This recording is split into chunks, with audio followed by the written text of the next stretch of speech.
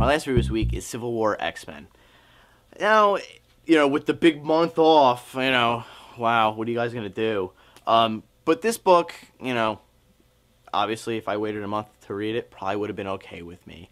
Um, and nothing really much going on. There's ooh, the Sentinel thing is irking me now. You're going a little too far with this. Now, you first you take your normal Sentinels, you get rid of them, and then you bring up these more futuristic Sentinels, and you get rid of them, and now you have this big Sentinel. Ooh.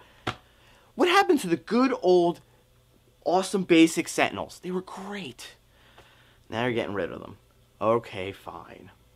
So now, this one big bad Sentinel captures Emma Frost because they need to find where Cyclops went, because the 198 is gone now, and, you know, Cyclops obviously went after them, so they want to find out from Emma Frost where they are. Obviously, she's not going to say, because we needed to read that.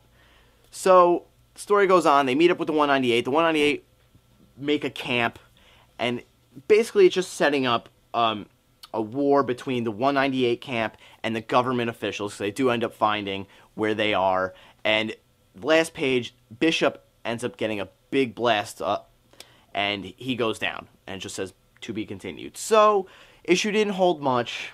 Uh, Bishop being a minor character, I'm sure he's going to be fine.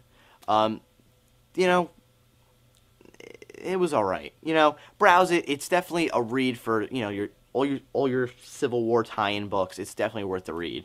Um, other than that, though, wasn't that great. Um, not really looking forward to where it's going. I'll be honest. Um, but hey, if you're collecting Civil War, it's a good book for you. So browse it if you don't. Buy it if you're into Civil War.